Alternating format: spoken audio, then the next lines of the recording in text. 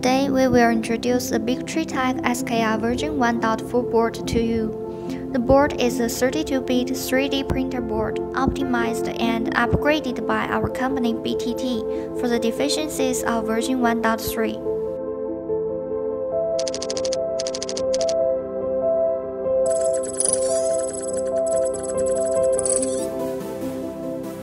By the way, our board SKR version 1.4 Pro adopts 120 MHz.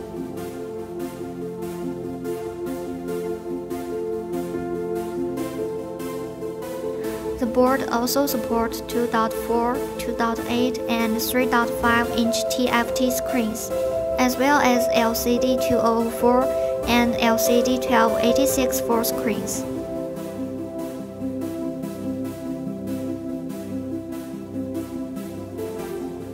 Our motherboard modules also support power failure detection modules, automatic shutdown after printing modules, and filament runout detection modules.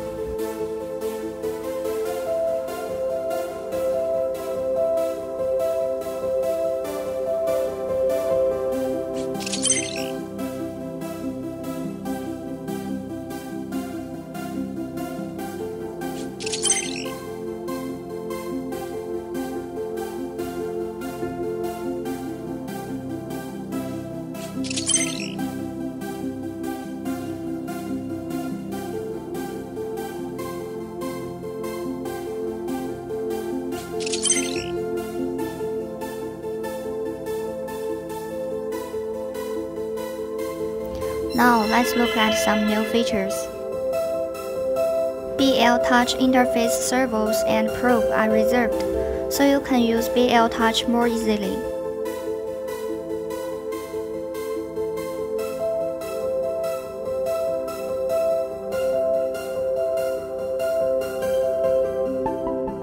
We also support the NeoPixel RGB LED strips.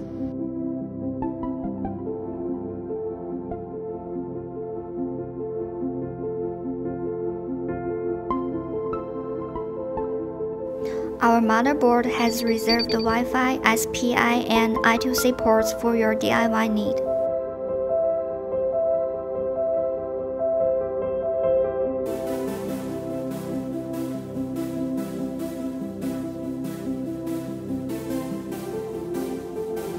We also reserve closed-loop driver ports to save you from the trouble of plugging in switching module.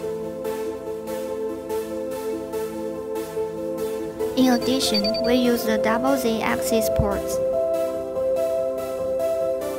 Our thermistor interface shall be protected by a capacitor and a varistor to enhance the resistance of the interface. We also add more fan ports.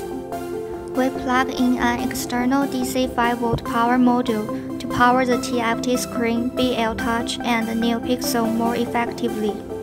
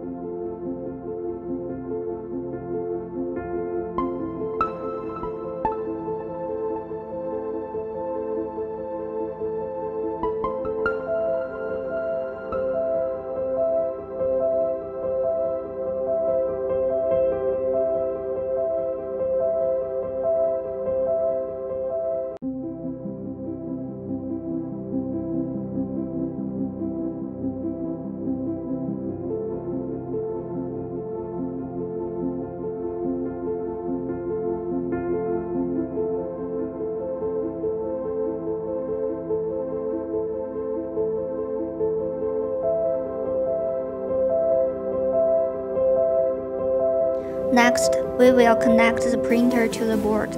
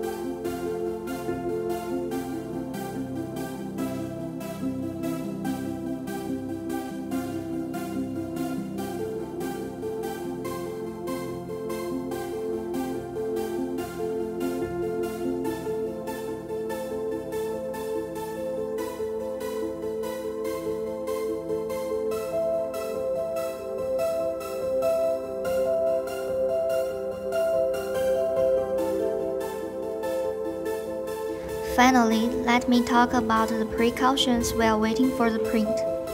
First, you need to connect the jumper between VDD and the central pin before printing. Second, the power of the hotbed connected to the motherboard must be less than or equal to 144 watt. If you want to use a high power hotbed, you must connect an external hotbed power expansion board. Third, firmware file name in SD card cannot be changed. Fourth, the wiring process and plugging in drive process must be carried out under the premise of power failure. The power can be put on after checking the correct connection of the line and the correct interface of the drive, so as to prevent the wrong connection line from burning the main board and drive and causing unnecessary losses. Fifth, to replace the configuration file, Please back up the factory configuration file to record the pin number of each part of the chip, and then change the new configuration file.